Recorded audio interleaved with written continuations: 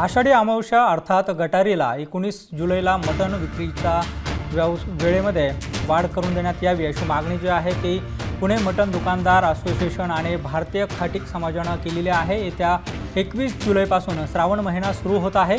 वीस जुलैला सोमवती अमावस्या आहे. त्यामुळे एकोणीस जुलैला रविवार येत असून आषाढी अमावस्येला मटण विक्री मोठ्या प्रमाणामध्ये होते. त्यामुळे त्या दिवशी मटण विक्रीच्या वेळेमध्ये वाढ करण्याची मागणी जी आहे ती करण्यात आलेली आहे.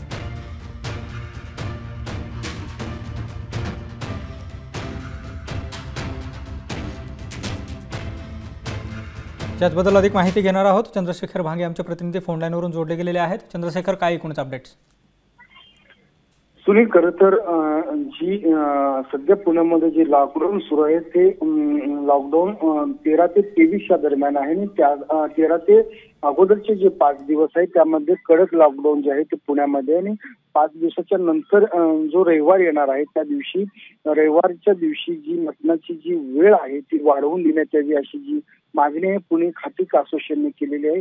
खरं तर पुण्याचे मनपा आयु- आयुक्त जे नव्यानं आलेले आहेत त्यांच्याकडे त्यांनी पत्राद्वारे याची मागणी केली आहे. खरं तर रविवारी जी मटण विक्री होणार आहे ती बारा पर्यंतच करावी अशी आदेश प्रशासनानं दिल्याचं समजतं. परंतु दिवसभर पूर्ण जो दिवस आहे तो गटारी अमावस्येचा दिवस आहे. आणि त्या दिवशी मोठ्या प्रमाणात पुण्यामध्ये मटणाला मागणी आहे. आणि दुसऱ्या दिवशी जी अमावस्या आहे ती सोमवारी असल्यामुळं रविवारी पूर्ण दिवस जो आहे तो मटण विक्रीसाठी जास्त कालावधीचा द्यावा अशी या ठिकाणची मागणी आहे. सुनील.